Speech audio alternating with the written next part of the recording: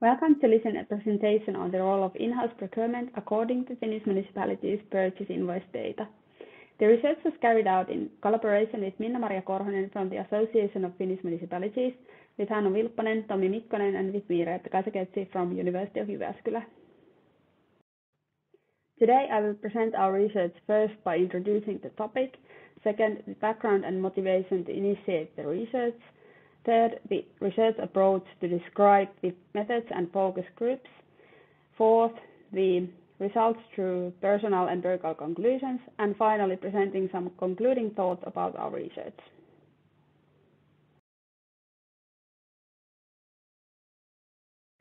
To begin with introduction, Finland is a Nordic EU member state with, state with 5.5 million citizens. In European Union, the member states follow procurement directive in public purchases.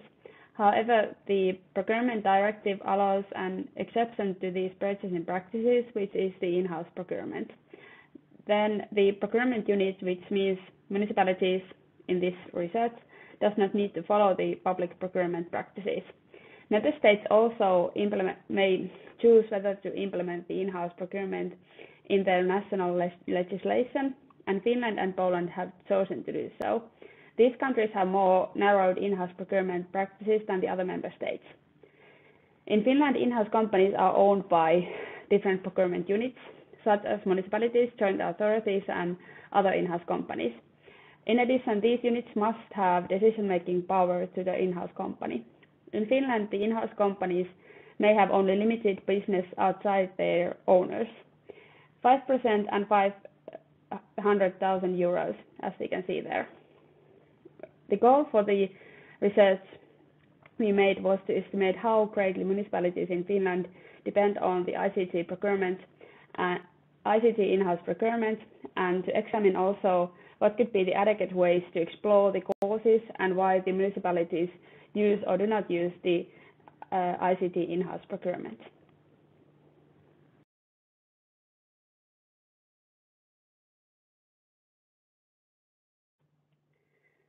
To understand the scenario and the size of the in-house procurement in Finland, we gathered some figures.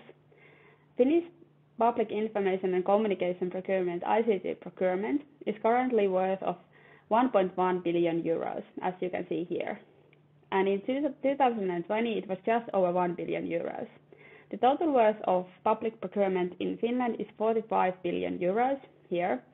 And in addition, the FCCA, Finnish Competition and Consumer Authority, estimates that the total worth of in-house procurement in all sectors is yearly approximately 41 billion euros.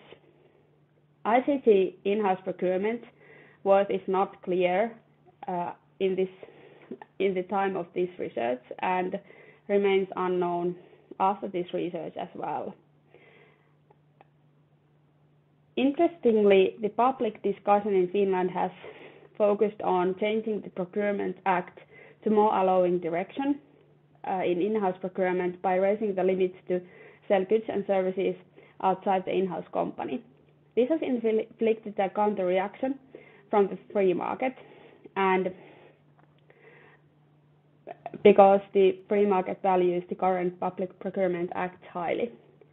Currently, procurements worth from the free market is 30 billion euros, and 15 billion euros is above the national threshold. When we are discussing municipalities and in-house companies in Finland, here is a geographical presentation on one in-house company called Kuntien Tiera. Kuntien Tiera has 403 owners, and Kuntien Tiera is not an exception uh, with the high number of owners, since it seems that all the in-house companies in Finland have quite many owners. We also have quite uh, quite high number of municipalities in Finland, 309, and also over 2,000 in-house companies. Uh, in the previous slide, we saw that the turnover from in-house companies is nearly 40, 41 billion euros yearly, and in small countries such as Finland, the phenomenon is quite massive. It's not, not a surprise that FCCA, Finnish Competition and Consumer Authority, has expressed its interest towards the in-house procurement and as well the creation of the in-house position.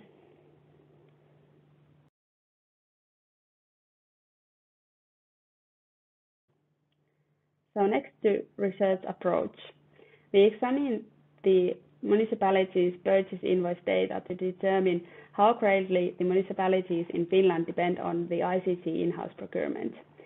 Furthermore, we examined what could be the adequate ways to uh, explore causes why the municipalities use or do not use ICT in-house procurement. The focus groups in this research are the largest municipalities and the essential ICT in-house companies in Finland. 11 largest municipalities in Finland have opened their purchase invoice data, and that's why they receive a closer examination in this research. Shareholder information was searched uh, from the websites of the in-house companies and inquired by the email and in some cases additionally by the phone. Public documents such as shareholder agreements were used to determine whether the in-house position existed. Another limitation involves the purchase invoice accounts.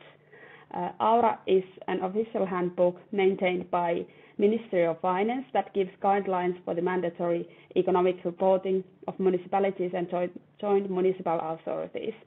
It contains um, contains um, the information we needed to ensure the comparability between the accounts uh, of different municipalities. Uh, all purchases from chosen ICT in-house company uh, were chosen to be inspected. In addition, we chose the year 2022 to be the reference year for all of the municipalities.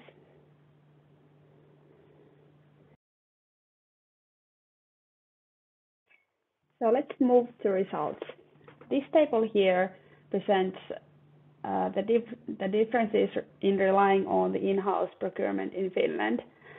We will present our results in personal empirical conclusions, and the first personal empirical, empirical conclusion is that municipal autonomy in Finland is quite high. The municipalities in Finland have the autonomy, autonomy to acquire independent solutions from in-house companies or from the free market, which is visible in the results as well.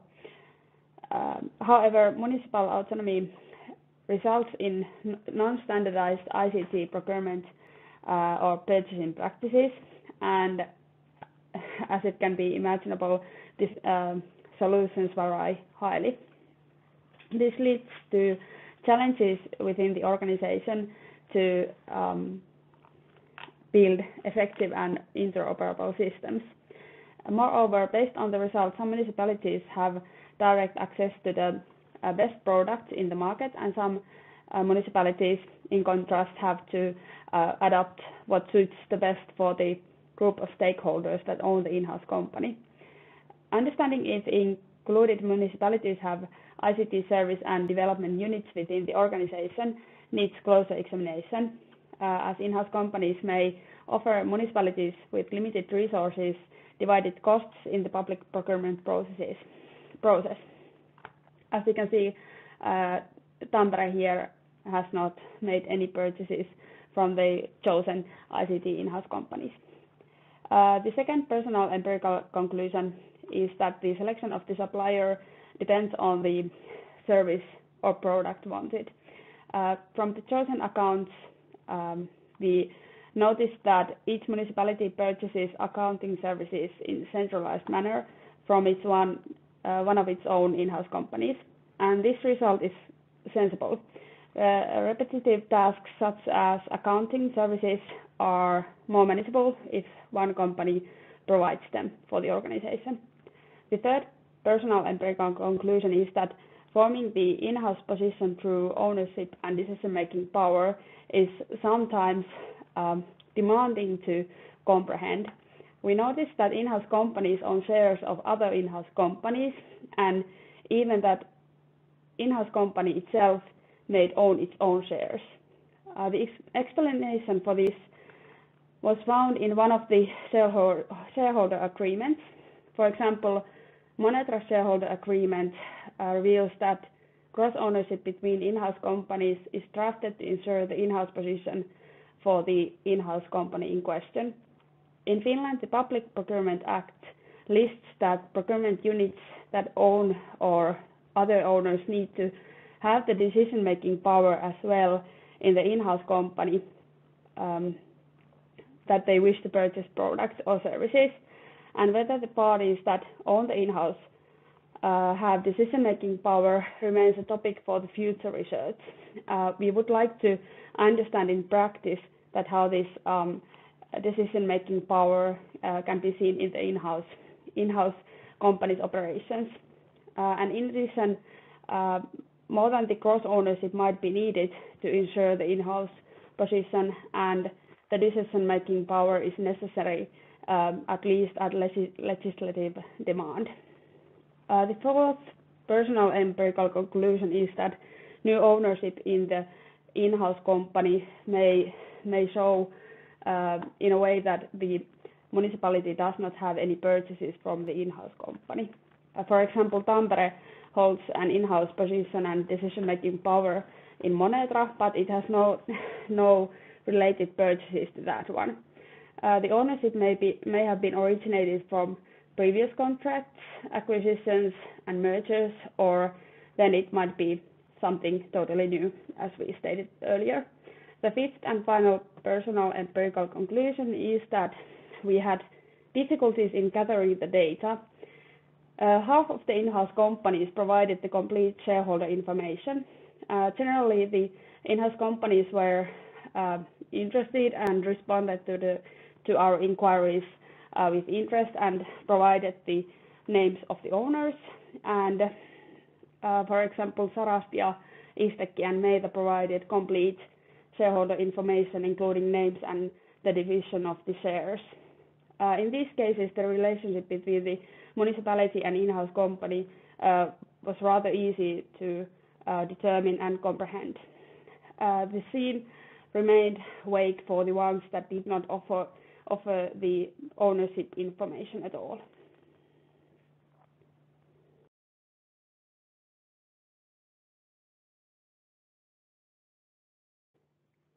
And finally, some concluding thoughts about our research.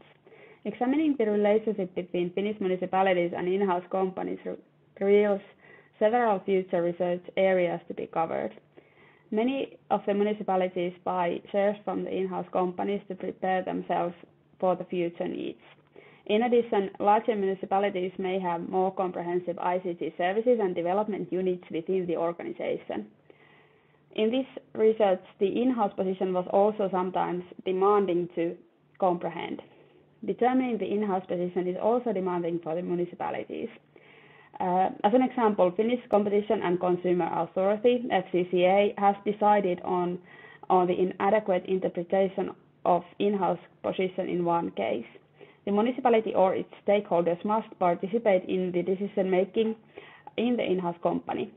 Uh, if they fail to do so, the le legal ramifications may follow.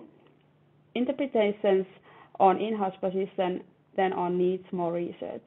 Finally, um, we encountered some difficulties in gathering the data and receiving information from in-house companies, which contradicts with the openness and equality principles uh, in Public Procurement Act.